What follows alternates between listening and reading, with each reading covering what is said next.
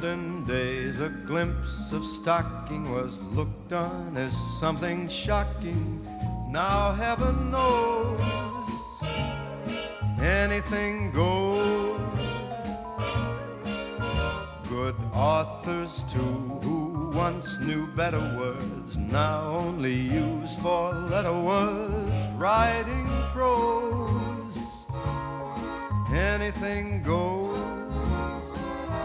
The world has gone mad